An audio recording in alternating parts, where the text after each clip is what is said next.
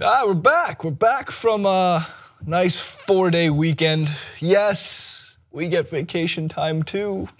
Uh, granted, a lot of people don't. So, hey, thanks for working while we get to take the time off. This is Zach. So, when you think I'm talking to somebody over there, the person does exist. Zach I is do. our intern indeed. for the summer. We got another intern. He's great. He's gonna go get me coffee in like 20 minutes. I'm just kidding. I'm kidding. I'm kidding. Uh, of course, of course. Zach, you're from? Uh, New Jersey. Yes. Yep. See, who else is from New Jersey? You And and J.R. Smith. J.R. Smith, I know. of course. That's exactly the third person. Soon it will be Zach, Jason, and J.R. Smith on the channel. on the Big. Three League, taking down That would be the best team ever. taking down Chauncey Billups. He'd have the team. he'd have the five point shot ready. Yeah. like there would be a shot behind that. he would just he would rather have all three of them. Just go after him. We'll, we'll just chill in the corner. the behind the backboard contested turnaround three would be the five point shot for J.R. Smith. But uh, let's jump into some uh, NBA free agency. Zach knows uh, all sports because uh, that was part of the requirements. So it's not like we tested him or anything though. So maybe he knows nothing. I don't know. You'll find out. You They'll judge him. yeah they will determine that. Yeah. You judge Can't him in wait. the comment section. Can't wait for that. Good stuff. All right, so uh, Gordon Hayward decided to sign with the Celtics in the, uh, I guess, the 4th of July fireworks that happened now in NBA free agency. I like that the list they put together, they go, all right, so it started three years ago, or two years ago, technically. Well, Marcus Aldridge signs with the Spurs on 4th of July, right? And next last year, Kevin Durant signs with the Warriors on 4th of July. And Gordon Hayward, there's a like remarkable difference between Kevin Durant moving to the Warriors and Gordon Hayward moving to the Celtics, in addition to LaMarcus Aldridge moving to the Spurs. yes. Um, there was some great reaction, but first, we'll read you some of the numbers, some of the reason why it fits, and then we'll get into maybe why uh, the Celtics still kind of whiffed in a way on missing out on obviously better players and, and, and everything that goes with that. So D number nine has Gordon Hayward's some of his. He was 87th percentile uh, as a pick and roll scorer, which is important for Brad Stevens' offense, and 71st in spot up catch and shoot situations. And we know the Celtics need catch and shoot situations, knocking down 40% of those shots, mostly from deep. His size and mobility as a perimeter defender are especially valuable considering the Celtics' small backcourt of 5'9 Isaiah Thomas and 6'2 Avery Bradley. It comes from Matt Moore over at CBS Sports. Um, and he's right about that. They needed some scoring. They needed to get Gordon Hayward because if they whiffed on everybody in free agency, it would be a pretty big loss for the Celtics. And after trading the number one overall pick, That's right. They had to especially make sure that uh, they didn't miss out, like you said, on Gordon Hayward because uh, Danny Ainge, he's been getting criticized a little bit, and after not uh, not trading for Jimmy Butler, not trading for Paul George, trading the number one overall pick to get a player like Jayson Tatum, and not go after Markelle Fultz, this was huge for Celtics and Celtics fans everywhere to get Gordon Hayward and to have that reassurance that okay, they're going to come right back for the number one seed next year and Yeah. try and make a run at Cleveland look like I think we were talking about it earlier. It's not really going to make them better probably than Cleveland in a seven game series. It probably doesn't Six make or them seven, better. The maybe? only thing I can think of that can never be ruled out, for one, I mean, when Paul George leaves the Eastern Conference and Jimmy Butler leaves the Eastern Conference, like, first of all, I think Gordon Hayward is now the only player aside from LeBron James in the top 15 in PER in the Eastern Conference in the NBA. Yeah. Like you, like you want to talk now about conference imbalance? There's a conference imbalance. There was a little bit of one last year, but not as much as people blew it out of proportion. Yeah. This year, it's way lopsided. Yeah. Uh, in addition to that, this the, what you can't rule out is what if this is the year? And I don't want to wish this upon anybody that LeBron or Kyrie or somebody gets injured on the Yeah. Cavs. Yeah, you never know. The Warriors have, have gotten some luck in that regard. Yep. And I mean, Zaza injures some people, but I mean, in other previous seasons and who they've had to face.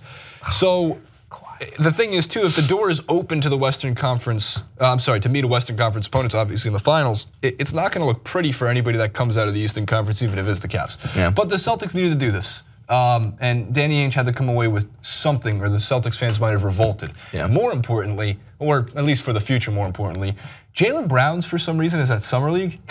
And we don't Absolutely why. dominating. Guys who play playoff minutes usually don't need to go to summer league, Yeah. and so he dominated. But if anybody saw Jayson Tatum, uh, it's too rapid of reaction. It's one game in the summer league, but the kind of hype you want to bring to a franchise is what you do Oh, with. Jayson Tatum. That you throw down a monster jam, you hit a buzzer beater, um, and that was against Markelle Fultz in the 76ers. So. Yep. Hey, I think we could probably use the highlight of Jayson Tatum's dunk, though, and we want to throw that in there. So Celtics fans have something to root for. dollars of tax. That Durant deal helps them out a great deal, though. Boston with the ball. They made just one field goal the last eight minutes. In fact, one at seven, and that's an oh my moment. Way up top. Locke still looking at me as Jayson Tatum rocks the rim. Boy, this is off the dribble. You see him tuck it into the midsection there, tucks it in, just right over the top. That's off one dribble, by Yeah. the way. That's a long way. That's the length and versatility that we talked about from the open. three three great great reactions to the uh, Gordon Hayward signing. One, Dan Wetzel pointed this out, uh, writer at Yahoo Sports. Gordon Hayward was so conflicted and wrestling with his decision, yet he managed to own a 2,100 word column on it. It's a legendary deadline writer. Yeah, that's Um, He ruled out the Heat pretty quickly. Yeah. we knew that. Uh, I think what on July 3rd. Yeah, the day before. Yeah. So it was pretty much Utah Or or, Boston. Boston. Yeah. And what was the third team? There's four decisions he was mulling over. The Knicks. no, he wasn't. No, but I love how uh, I love how the first initial report that Chris Haynes, I think, on ESPN broke it and said he plans on signing with Boston, and everybody said, "Oh no, no, no, you know, pump the brakes. He hasn't decided yet." And it was almost like Gordon Hayward was just trying to finish up his Players Tribune article just to get it out in time.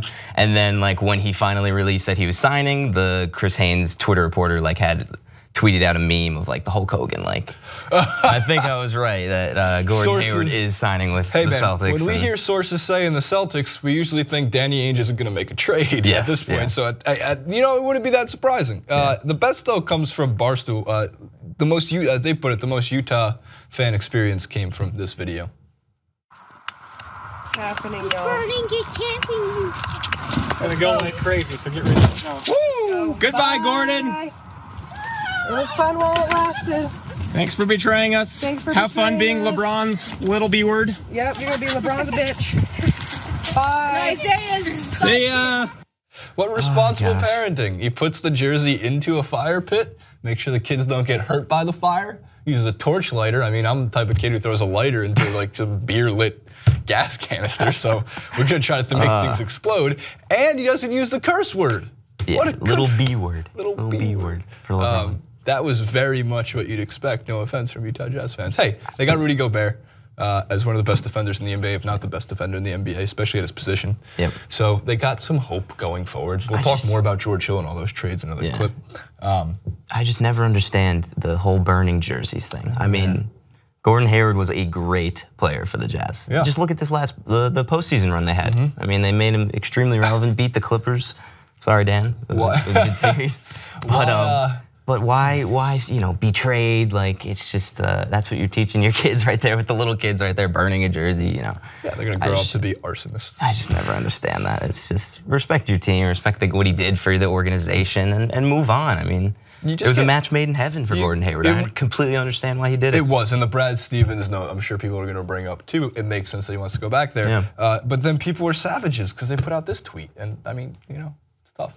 You know, my favorite Gordon Hayward Brad Stevens memory. oh, we were talking beforehand.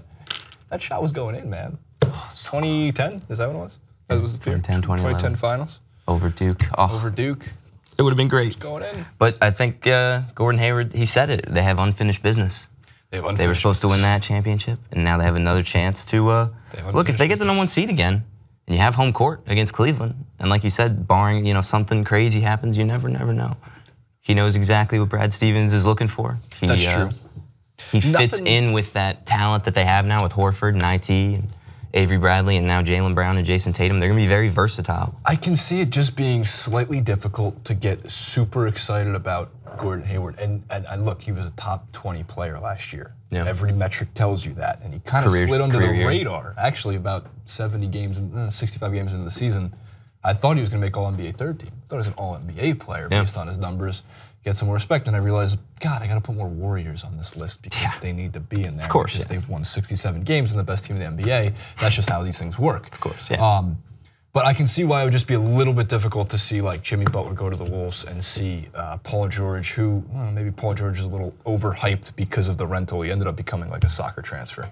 Yeah. Like it became like the Paul Pogba soccer transfer. Yeah. Like how much are we willing to part ways to get this guy? Going in? on and on and on. Yeah. I'm gonna save the Paul George story for the other NBA clips so you don't go too long. So comment below, like, favorite, subscribe, uh, and we will see you next time.